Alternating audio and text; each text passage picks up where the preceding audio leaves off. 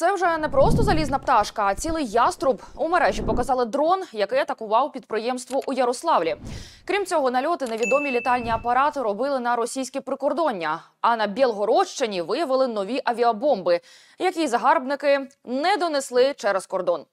Знову у них там щось виняштатне. Всі подробиці та результати авіапригод розповім за мить. Ви на каналі Січас. Мерщій підпишіться і полетіли.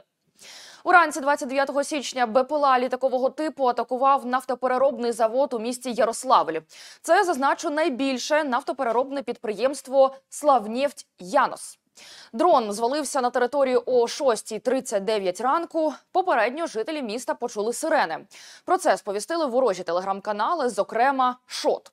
Як пишуть автори пабліка, уламки розкидали територію промислового об'єкта. Знімки крилатого показали у мережі. Сталася невелика пожежа, яку працівники швидко загасили самотужки. Нині на місці працюють екстрені служби. Епіцентр падіння БПЛА оточене до заводу викликано групу розмінування, адже імовірно безпілотник летів із вибухівкою.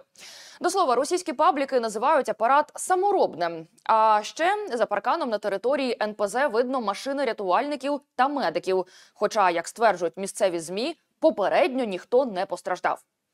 Поки не дають жодних коментарів щодо того, що сталося у російському МНС. Натомість об 11.22 за місцевим часом атаку підтвердив губернатор Ярославської області Міхаїл Євраєв. Система радіоелектронної боротьби нафтопереробного заводу Славнафта Янос запобігла атаці безпілотника. На місці події працюють правоохоронні органи та спеціальні служби. Постраждалих немає, займання немає, зазначив він у своєму телеграм. За кілька годин додав, мовляв, загрозу безпеки паливно-енергетичного комплексу нейтралізовано. Підприємство працює в штатному режимі. Додам, Новоярославський нафтопереробний завод працює з 1961 року. Середній показник обсягу переробки нафти там становить близько 15 мільйонів тонн нафти за рік. Разом з тим, так само сьогодні вночі летіло на Брянську область. Черговими засобами протиповітряної оборони безпілотний літальний апарат знищено над територією. Йдеться у сповіщеннях змі. Туди ж у списочок жертв НЛО, назвімо це так, і Ростовщина. У Неклінівському районі впав і вибухнув дрон. Внаслідок падіння БПЛА та детонації вибухового пристрою частково пошкоджено скління та стіни кількох корпусів у заміському таборі. Звітує губернатор Василій Голубів. У зимовий час установа не працює, перебуваючи на консервації. Додав він. Сусіди вже побоюються цих от дронів та шукають шляхи, як вберегти власні шкури. Влада одразу трьох російських регіонів ночами відключає інтернет 4G, аби влаштувати захист від нападіння. Йдеться про Ленінградську, Псковську та Новгородську області. Про це зокрема пише видання Комерсант. Повідомляється, що інтернет почали відключати 25 січня, і передбачувана дата закінчення таких от буцімто робіт 30-й день місяця. А ось на Білгородщині все стабільно. Там вимикай зв'язок, не вимикай, не дають видихнути від надзвичайних подій.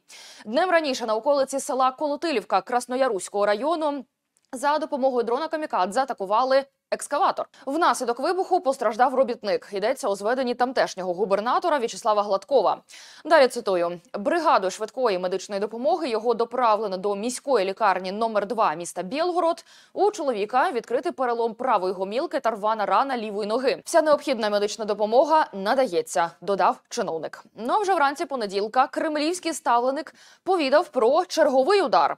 Під приціл потрапило село Мокра Орлівка Грайворонського міського округу. Воно лежить практично на стику території України та РФ. Є одна постраждала. У жінки порізи від скла на обличчі та руках. Крім цього, різні пошкодження виявлено у двох приватних домоволодіннях. Вибиті вікна, посічені фасади та паркани. Також пошкоджено лінію газопостачання. Та поки на Белгородщині скаржаться на атаки, місцевим на додачу насипають клопоту їхні ж вояки. Прості росіяни буквально живуть як на бочці з порохом, вкотре літаки Міноборони РФ упустили дві авіабомби на регіон. Так, у суботу, 27 числа, авіабомбу ФАБ 250 виявили у хуторі Постників Корочанського району. Мешканців не стали евакуйовувати, і того ж дня іншу вже бомбу знайшли у Стрілецькому. Там все ж таки вирішили провести евакуацію. 150 жителів, які живуть у радіусі 500 метрів від місця падіння бомби, влада таки вирішила вивести подалі. Обійшлося без детонації в обох випадках, але це можна вважати щасливим таким от випадком. Лише не вдумайтесь, ситуація, коли військові судна окупанта не дотягують до території України і нібито випадково скидують боєприпаси на власні землі, трапляється вже як мінімум восьмий раз. Оборонне відомство противника називає це нештатним сходом авіаційного боєприпасу. Востаннє до цього така от прикрість у них трапилася буквально тиждень тому, минулого понеділка. Пропоную пригадати всі деталі. Про це ми говорили у попередньому випуску. Нагадаю про необхідність ваших коментарів та вподобайок. Підпишіться на канал сейчас і разом продовжуємо перегляд. Росія сама себе бомбить. З ворожого літака знову впала авіабомба на прикордонну область Федерації. Чи є наслідки? Відповім за мить. Ви на каналі Січас. Підпишіться і до головного. На дамбу у Білгородській області Російської Федерації звалився російський снаряд. Авіабомбу ФАБ 250 виявили 21 січня у районі хутора Іонівка у водоймі.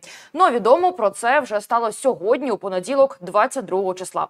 Постраждалих, як пишуть у мережі, немає. Про це зокрема повідомили телеграм-канали Російської Федерації. За словами ворожих пабліків, унаслідок скидання боєприпасу гребля була частково пошкоджена, проте постраждалих немає. У Міноборони планують підірвати цю бомбу на полігоні в Яковлівському окрузі увечері 22 січня. ФАБ це фугасна авіабомба. Такі боєприпаси чинять найпотужнішу і найуніверсальнішу уражаючу дію серед авіабомб основного призначення. То чия це вибухівка? Раніше полковник запасу ЗСУ Роман Світан заявив, що росіяни навмисно збивають ракети над Білгородом.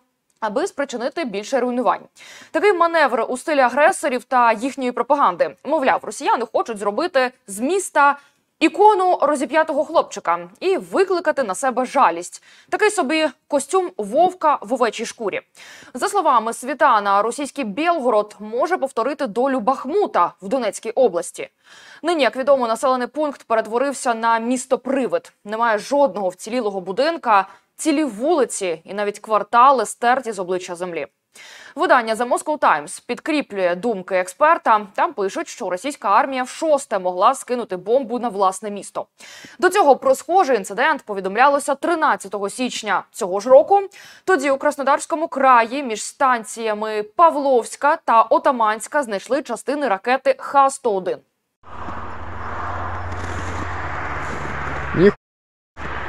Ракета, ёб.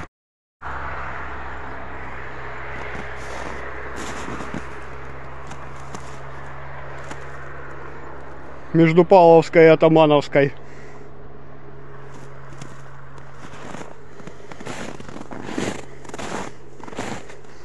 Прям ракета.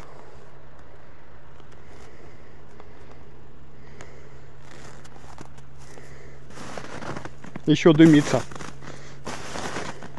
Ночью бахнуло. Ще 2 січня на село Петропавлівка у Воронезькій області впала російська ракета, вибухнула та рознесла пів села. Загинули тоді 11 людей. Про це принаймні повідомляє телеграм-канал Кремльовська табакерка. Самі ж росіяни кажуть лише про постраждалих. А где Вовка-то? Живые, живые, нет.